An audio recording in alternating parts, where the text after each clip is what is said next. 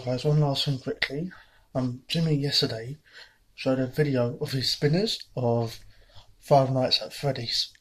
So on eBay, there's some balloons for sale for about three, four pounds. I also say, don't know if you see it, Five Nights at Freddy's. So you get purple, red, yellow, and purple, and orange and red. So this is a purple one.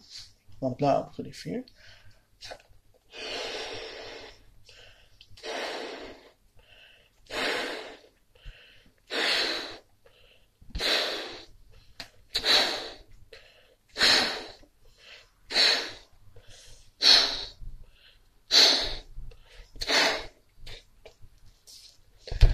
And this one says, It's me. So these are on eBay at the moment for about £4.38, which is equivalent to about $6 maybe in your country.